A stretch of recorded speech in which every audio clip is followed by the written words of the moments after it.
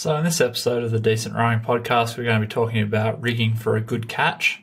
Uh, I'm Lachlan Davey. I'm here with my dad, Ken Davey, and we're going to be talking about what changes you can make to your boat uh, to make it fit the athlete better so you can have a good catch.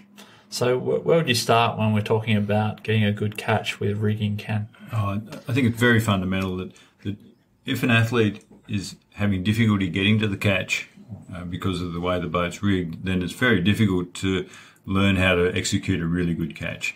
Uh, if you find the athlete has to be pulling themselves into the catch in order to hold that catch position, so they're sitting at the catch, we'd like to have their shins vertical or a little bit over vertical, um, but about that area. So they need to be able to sit at that position without being uncomfortable. If it's difficult for them to hold themselves in that position, it's going to be quite hard for them to concentrate on the, the fine movements that are required in order to get a good catch.